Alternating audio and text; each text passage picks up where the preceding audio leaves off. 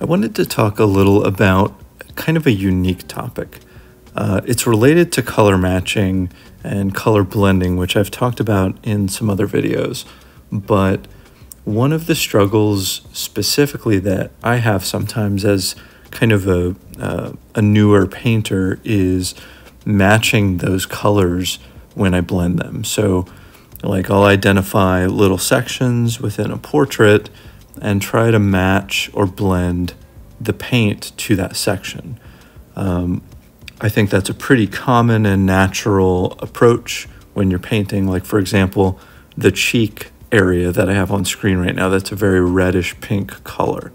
So, looking at the reference, your natural instinct probably is to start trying to blend, start trying to add cadmium red and yellow ochre and maybe blend a little titanium white in there and try to find the right balance, the right color to match what you're seeing.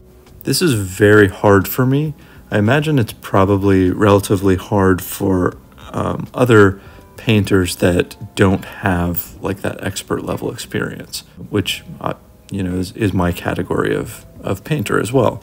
So one of the approaches that I've taken or started taking to kind of mitigate that a little bit is what I kind of refer to as backwards color matching. So, what I mean by that is instead of trying to continue to blend and test to match something in a reference, you might try to do that realizing that maybe it, you know it's not going to match exactly. So, the colors that you're mixing and blending on your palette, you kind of work backwards and look okay, I've blended this up now what sections of the reference photo match this blend that I made? Usually there's going to be more than one section, hopefully. Um, you know, sometimes it's sparse. There might be a couple little tiny zones where you, you put that color, but um, working this way, you can kind of slide down a scale. So like add that yellow ochre, add that cadmium red, add some titanium white and get a little blend like a mid color find where those are in the subject, then start moving up the scale of lightness. Start adding more titanium white and gradually lightening it up.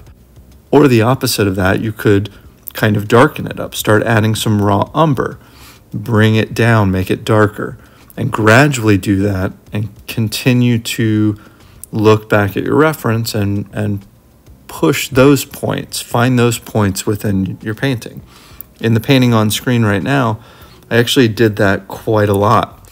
I was finding that I wasn't having good success with my blending, so I decided to work backwards like this. Blend first, then try to find spots that match that.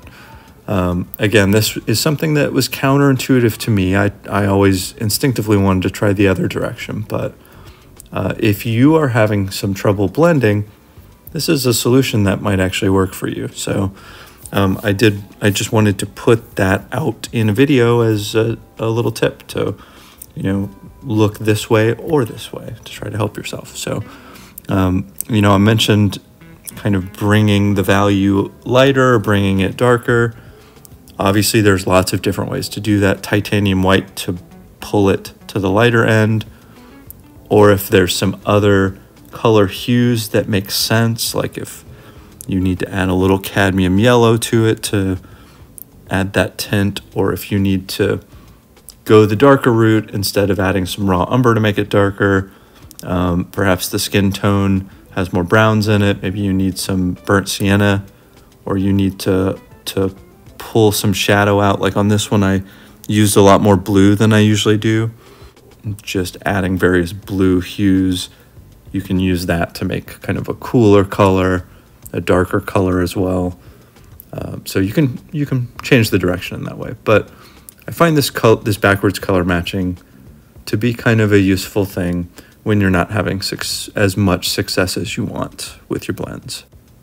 So that's all I have on this topic. Thanks for watching. We'll see you for the next one.